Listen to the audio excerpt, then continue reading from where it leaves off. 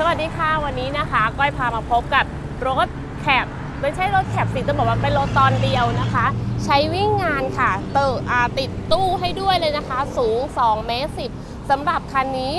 เรียกว่าเจ้า Spark 1.9 S เกียร์ออโต้นั่นเองนะคะ เดี๋ยวก้อยพาไปดู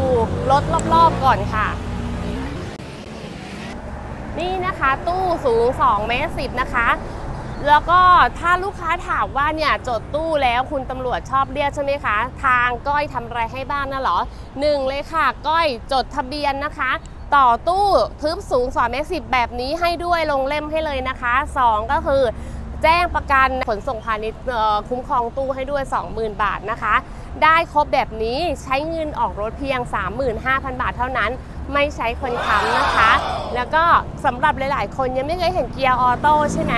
อ่าเดี๋ยวก็พามาดูนะคะว่าเกียร์ออโต้ภายใน Spark เนี่ยเป็นแบบไหนวิล็อกไปฝั่งนู้นดีกว่า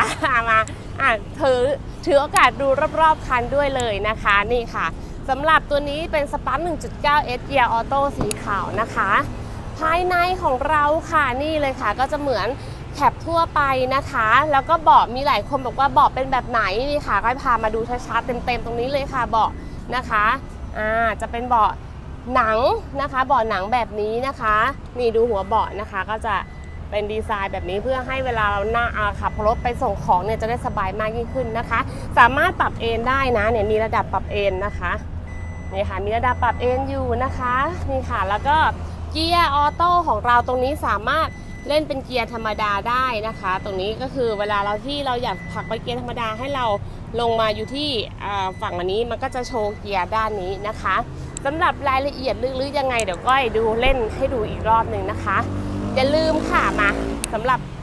คันนี้นะคะออกรถเพียง 35,000 บาทเท่านั้นไม่ใช้คนค้ำนะคะ โทรหาก้อยได้ค่ะที่เบอร์